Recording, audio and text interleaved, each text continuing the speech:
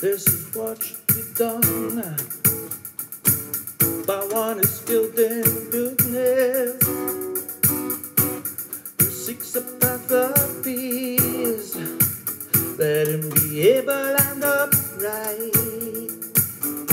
straightforward and gentle in speech, humble, not conceited,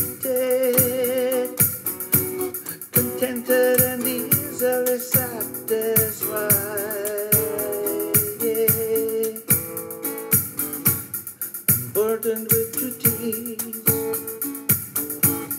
and frugal in their ways, peaceful and calm, and wise and skillful, not proud and demanding in nature.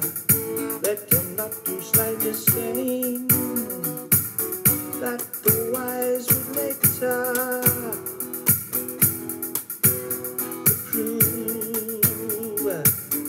Wishing in gladness and immensity, may all things be at ease, where the living beings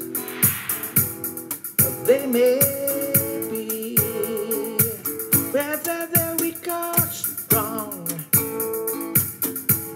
omitting none.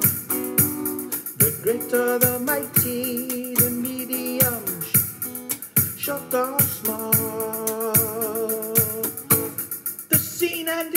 unseen, those living near and far away,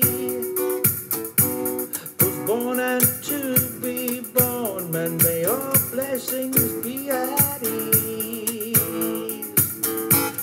Let none deceive another or despise being in any state. Let none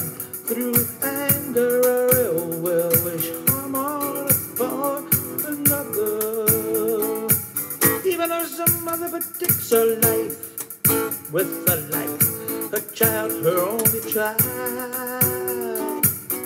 So with a boundless heart should one cherish all living beings, radiating kindness all over the entire world, spreading upwards into the skies, downwards to the depths, outwards and bounded, freed from all hatred and ill will.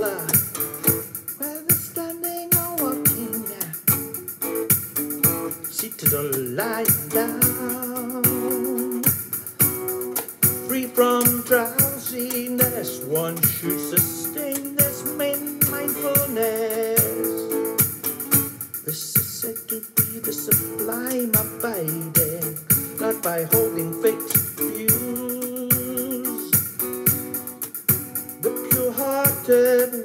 clarity of vision, being freed from all sense desires, is not born again.